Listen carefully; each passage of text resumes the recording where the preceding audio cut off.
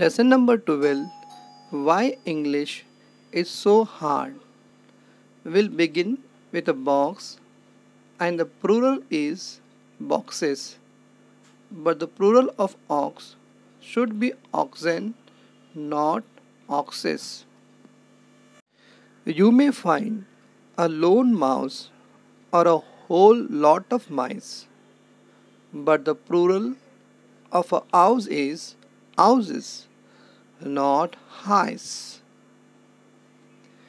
If the plural of man is always called men, why shouldn't the plural of pan be called pen?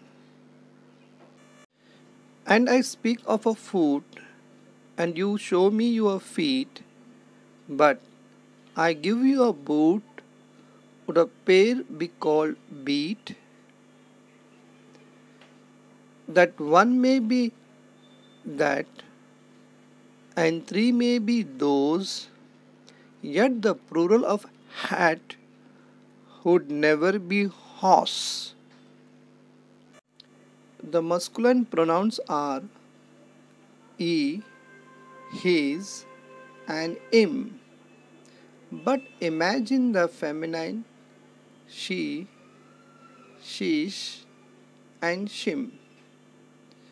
So, our English, I think you will all agree, is the trickiest language you ever did see.